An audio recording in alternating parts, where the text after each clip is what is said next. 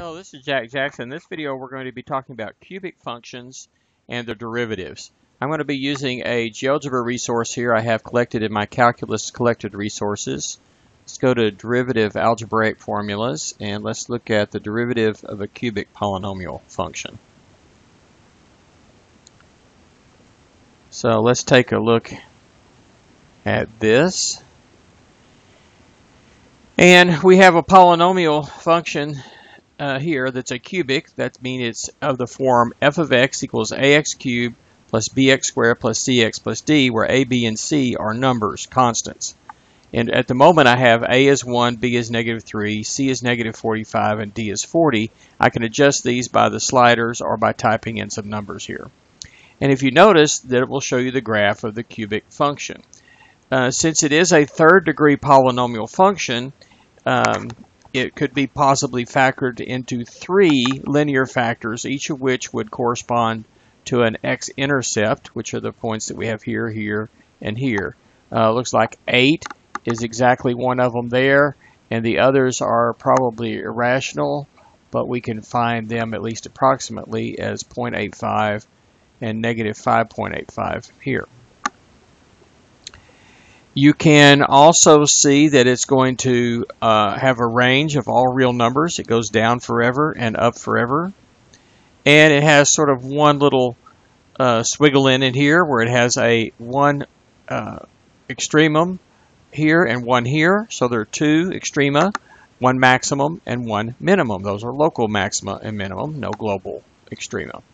It's uh, as any function, it's going to have at most one y-intercept, and this one has exactly one y-intercept. Uh, this one here is at 40. That's always going to be 0, comma, whatever d is. It's going to have uh, an inflection point always. It's going to be exactly halfway between the two extreme values there. Now, depending on how I adjust these coefficients, uh, we may not get an extreme value, uh, basically what will happen is as these two guys get closer and closer together, this inflection point is always exactly halfway between the two extrema horizontally, and uh, you can sort of have a degenerate case where the extrema sort of land on top of the inflection point, the extrema sort of disappear, and you only have one uh, um, inflection point there and no extrema. Just y equals x cubed, for example, has that. And we can show or hide this with this check marks here. Now if we take its derivative, it turns out to be a parabola, a quadratic or second degree polynomial.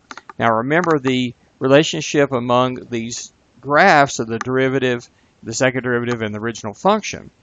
When the original function is at a maximum or minimum, then the first derivative will be at a um, x-intercept. So in other words, when the first derivative is zero, you have a horizontal tangent line on the original function, and that could possibly be a maximum or a minimum. So if you notice this uh, this particular second degree polynomial that turns out to be the the uh, derivative is 3x uh, squared minus 6x minus 45. Uh, that actually factors as um, 3 times uh, x plus 3 times x minus 5, and so it crosses the x-axis at 5 and negative 3 for the x-coordinates. Halfway between those, it will have an extremum. That's a local and global extremum. It's either going to be a maximum or a minimum. In this case, it's a, a minimum when that leading coefficient is positive. And that's going to be uh, correspond to the inflection point on the original graph. So halfway between negative 3 and 5 is going to be 1, and that 1 is the x-coordinate of the inflection point here. When you look at the second derivative, it's a linear equation, a linear function, 6x minus 6, and uh, that crosses the x-axis one time. When it, the place where it crosses the x-axis is the extremum on the first derivative and the inflection point on the uh, original function. At least they all have the same x coordinates, of course, different y coordinates.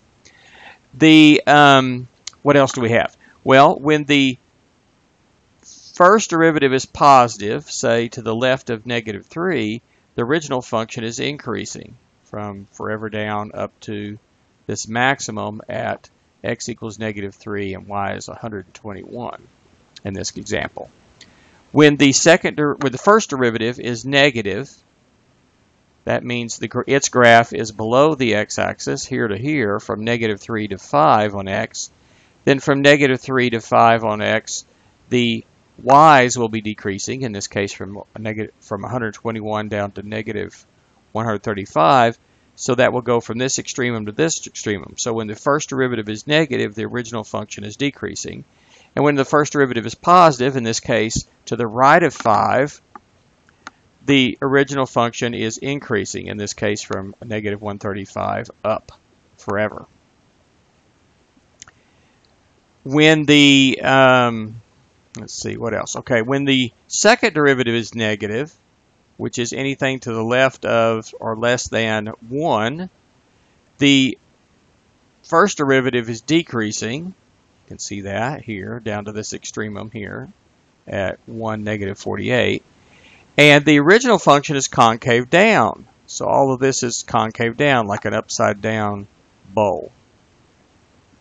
All the way to this point here at 1, negative 7.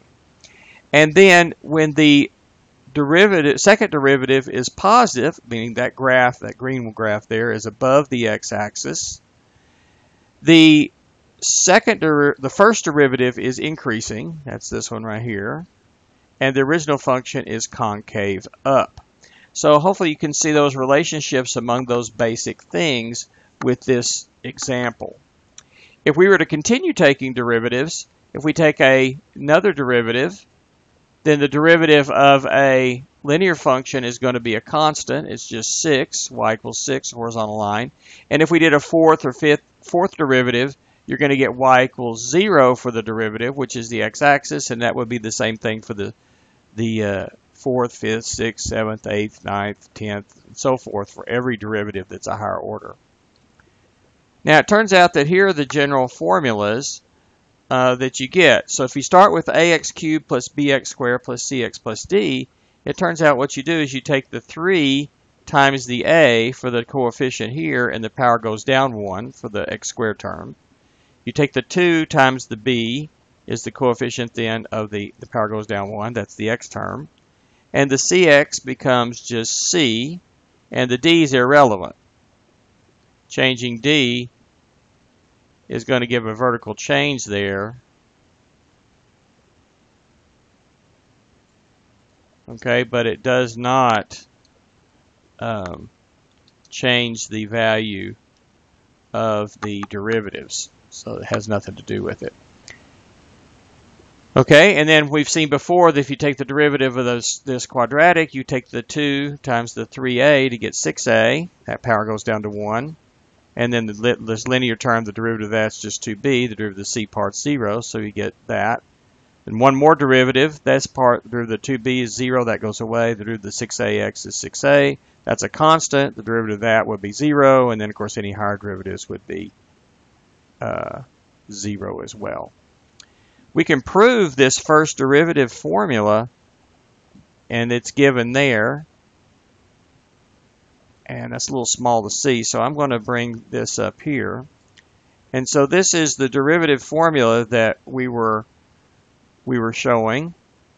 And to prove that, let's let's remember a couple of things.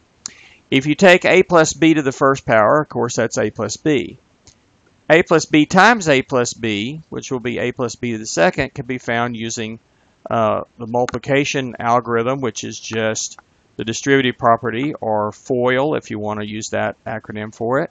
b times b is b squared, b times a is ab, a times b is ab, and a times a is a squared. Add these together, combining like terms, the two in the middle add up to be a squared plus 2ab plus b squared. If we take that and multiply by another a plus b here, then we're going to get a plus b cubed. Multiply the b by each one, distributing that, so that becomes b cubed for b times b squared. b times a 2ab is 2ab squared. b times a squared is a squared b. a times b squared is ab squared. I lined that up above, uh, below the uh, like term there. a times this one is 2a squared b. a times that one's a cubed. Add those together, you get a cubed plus 3a squared b plus 3ab squared plus b cubed. Now you're going to see why we're going to need that. We're going to, and a is going to be x and b is going to be h. in example we're going to see here. So let's actually derive the derivative formula here. Um, f of x plus h minus f of x over h is a difference quotient. Then take the limit as h goes to 0, we get the derivative. That's the definition of the derivative. As you do and always in these problems, you line up the equals, line up the limit signs, and we just um, we have parentheses minus parentheses over h here. The second set of parentheses is the original formula, which is f of x, which is ax cubed plus bx squared plus cx plus d.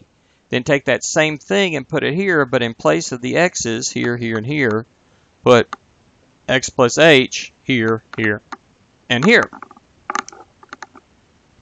So really the only calculus step that we've done here is the first one, writing down the, the limit, which defines the derivative. Almost all the rest is algebra steps. So the first algebra step is to cube this and square this. So using this property that we had up here where a is x and b is h, this becomes um, x plus h cubed becomes x cubed plus 3h x squared plus 3h squared x plus h cubed. x plus h squared is x squared plus 2hx plus h squared. Again, using this one up here when x is a and b is h. Now we use the distributive property, multiply this a by each one. That gives us these terms here. And multiply the b across each one of these gives us these next terms multiply the c here, and distribute the negative 1 here. So we got this long monstrosity of a thing here, but things are going to start to look a little bit better now. We take this and the minus d and the d cancel, the minus cx and the cx cancel, the minus bx squared cancels with this one over here, the minus ax cubed cancels with that. So when all those terms cancel out, that leaves these terms here and you should notice that they all have an H in them. So notice any point from here up, or even this step right here, from here all the way up, if we were to plug in H equals 0, we would get 0 divided by 0. And so that doesn't, um, doesn't help us try to find a limit. That always happens when you have a derivative formula working out from the definition. Now, if you see this, you can factor an h out, though, that leaves 3ax squared plus 3ahx plus ah squared plus bx plus bh plus c, and that's all times h in the numerator. And since h is not 0, it's only approaching 0, we can cancel the h's out here, leaving just the numerator. And now that's a continuous function of h, so as we can just plug in h is 0. So we're really Really, there are only two calculus steps, writing down the definition here and using some limit rules that say we can just plug in the h equals 0 here. And if you notice, several of these terms disappear, and what's left is 3ax squared plus 2bx plus c, which is exactly what we said it would be a while ago. So let's let's put this into work for this cubic polynomial right here. We want to find the derivative of the function 5x cubed plus 6x squared plus 7x minus 2. You can do it in your head very easily. You just take the 3 times the 5 makes that 15 and the power goes down from 3 goes down 1 to 2. Take the 2 times the 6 is 12, power goes down to 1, and the linear term here is just 7. The 2 is irrelevant. It, that part derivative goes away. Okay, see how that works? Okay, you do this one. It should be pretty easy to do it in your head. Do this one on your own.